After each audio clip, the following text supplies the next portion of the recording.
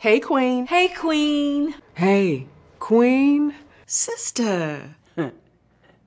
Girl, you've done it again.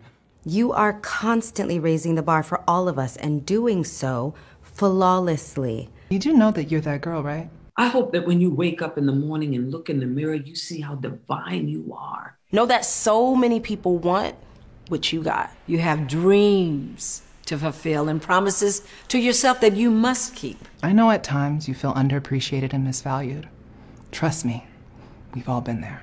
So it's necessary that you can count on yourself. Now, don't go seeking perfection. Extend yourself a little grace. Don't be afraid to celebrate the little wins as much as the big ones. You, Miss Thing, are courageous. You are dynamic. You are principled. So, baby girl, just remember respect is a minimum. There's a sweet justice in knowing that the path you are on was designed for you and you alone. Doing right by yourself never goes out of style. Everything about you is majestic and a force to be reckoned with.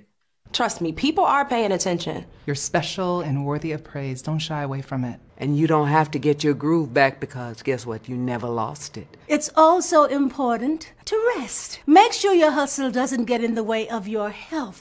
Girl, take care of yourself. And the next time you want to second guess yourself, don't do it. So pause for a second right now and relax, relate, release. You are needed, you are appreciated. Girl, you make me so proud. And I love you. Remember, you are 100% that queen. Oh, yes.